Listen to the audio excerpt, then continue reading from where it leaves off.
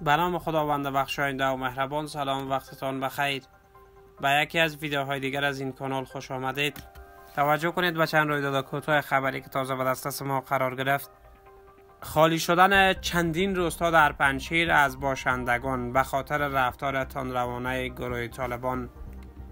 به نقل از صدای افغانستان منابع مردمی می‌گویند که رفتار سختگیرانه گروه طالبان در ولایت پنشیر سبب شده است تا بسیاری از باشندگان این ولایت روستاهایشان را ترک و کوچ کنند. یک باشنده شهرستان شتول که نخواست اسم از وی در گزارش ذکر شود می‌گوید گروه طالبان در تابستان سال گذشته به دلیل جنگ با نیروهای جبهه مقاومت باشندگان محل را بازداشت و لطکوب می کردند و ساکنان چندین روستا را مجبور به کوچ اجباری کردند.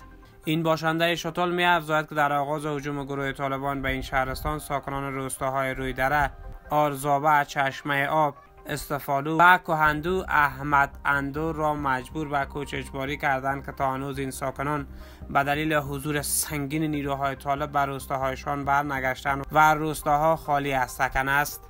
از سوی هم یک باشنده دره اسارک ولایت پنشیر می‌گوید که طالبان ساکنان روستاهای گلزنگر و دره پنی را در اوایل هجومشان با ضرب و و بازداشت و وادار به کوچ اجباری کردن و ساکنان این روستاها نیز به دلیل رفتار سختگیرانه گروه طالبان تا هنوز به خانه هایشان برنگشتند. و گفته این باشنده محلی نظامیان طالبان به ساکنان روستاهای دره پنی و گلزنگر اجرار دادند که حق رفتن به نزدیکترین نقطه کوه را ندارند و همچنان از ساعت هفت شب به بعد حق گشت و گذار نیز برایشان داده نشده است.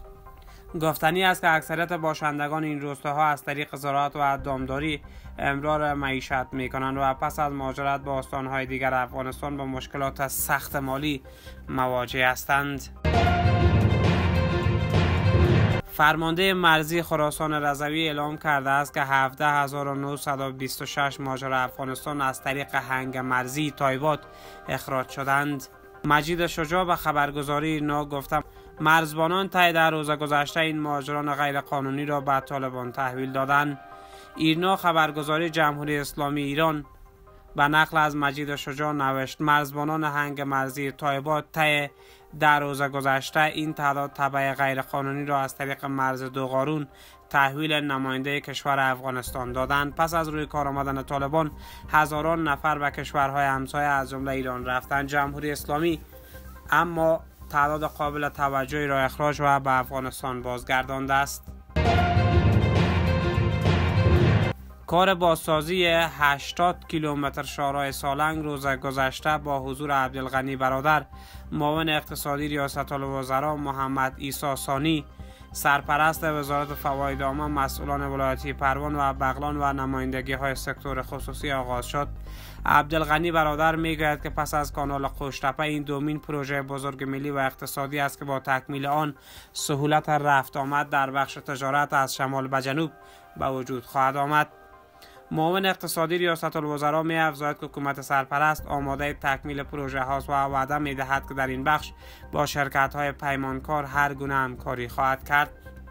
شورای شاهراه سالنگ از ولسوالی جبل سراج پروان تا ولسوالی خنجان بغلان توسط دو شرکت خصوصی بازسازی خواهد شد که کار آن تا دو سال دیگر به پایان می رسد هزینه مجموعی این پروژه تاکنون روشن نشده است. سرپرست وزارت فواید عامه می‌گوید که کار بازسازی اسفالت شارع سالنگ از درآمد داخلی خود این شارع گردآوری شده است. و خبر وحشتناکی که تازه به ما رسید. منابع آگاه می‌گویند که یک افسر ارتش حکومت پیشین زیر شکنجه طالبان در زندان ریاست استخبارات این گروه در کابل جان باخته است. منابع ناوقت چهارشنبه در صحبت با روزنامه هشت صبح می‌گویند که این نظامی پیشین آصف خان خیبر نام داشت و حدود 15 ماه پیش از توی طالبان بازداشت شده بود اما سه روز قبل طالبان جسد او را به خانوادهش تسلیم دادند. و گفته منابع آصف خان دانش آموخته دوره 18 دانشگاه نظامی مارشال محمد قسیم فهیم بود و نیروهای ریاست استخبارات طالبان او را بعد دلیل نامعلوم از مربوطات ولسوالی شکردره ولایت کابل بازداشت کرده بودند. منابع می افزایند که طالبان به خانواده آصف خان هشدار دادند که در مورد قتل نظامی پیشین و رسانه ها ابراز نظر نکنند. منابع اضافه می کنند که طالبان مانع اشتراک افراد بیشتر به مراسم جنازه نظامی پیشین نیست شدند طالبان تا کنون در این مورد چیزی نگفتند. جواب دندان شکن وزیر دفاع انگلیس به درخواست های مقام های اوکراینی. قدرشناس باشید. ما فروشگاه آمازون نیستیم. بنوالاس وزیر دفاع بریتانیا از مقام های اوکراینی خواست که از کمک های تسلیحاتی کشورهای غربی قدردانی کنند تا این کشورها به ارسال کمک ها بیشتر ترغیب شوند او خطاب به این مقام ها گفت که متحدان اوکراین فروشگاه آمازون نیستند اشاره والاز به فروشگاه بزرگ آنلاین است که کالاهای فراوان دارد و اشناس را در درب خانه به مشتری تحویل می دهد. والاس این اظهارات را در آشه یک جلسه سران ناتو در لتوانیا در پاسخ به پرسش یک خبرنگار درباره ناراحتی رئیس جمهور اوکراین از تعیین نشدن جدول زمانی پیوستن اوکراین به این ائتلاف نظامی ابراز داشت.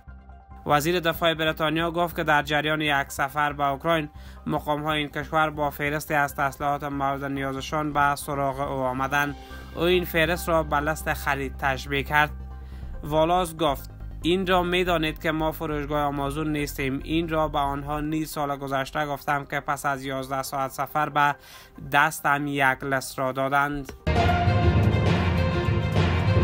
رئیس جمهور سابق آمریکا هشدار داد دولت واشنگتن با ارسال بمهای خوشایی به اوکراین. پای آمریکا را بیش از پیش به سمت جنگ جهانی سوم باز می کند. دونالد ترامپ رئیس جمهور سابق آمریکا در بیانیه در شبکه اجتماعی ترت سوشال گفت جو بایدن رئیس جمهور آمریکا باید برای پایان دادن به جنگ و متوقف کردن مرگ و میرها و ویرانی های به وجود آمده توسط دولت بیکفایت تلاش کند. وی افزود برای دهه های آینده یعنی مدت ها پس از پایان جنگ مردان، زنان و کودکان بیگناه اوکراینی را می‌کشد و معلول خواهد کرد. تشکر از توجهتان. تا بعد بدرود.